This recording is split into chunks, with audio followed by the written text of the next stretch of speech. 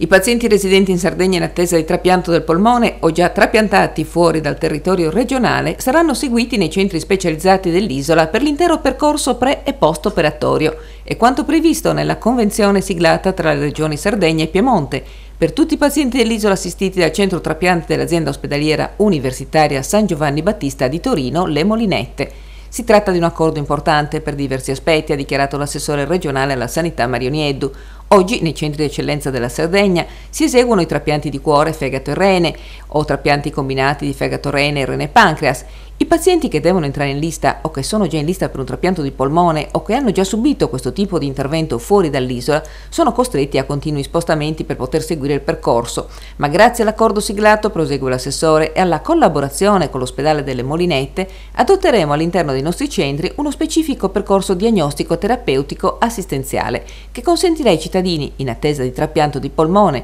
o già trapiantati di avere in Sardegna tutta l'assistenza che serve e quindi di doversi recare a Torino solo per la fase operatoria. Abbiamo scelto la collaborazione con l'ospedale di Torino perché è estremamente specializzato nel trapianto di polmone e il numero elevato di interventi realizzati ogni anno è una garanzia per i tanti pazienti sardi in attesa. L'accordo prevede che i polmoni prelevati da donatori nell'isola vengano destinati prioritariamente al centro piemontese. Questo aumenterà la possibilità che anche i pazienti sardi in lista possano vedere accorciare i tempi d'attesa per i trapianti, conclude così l'esponente della giunta Solinas.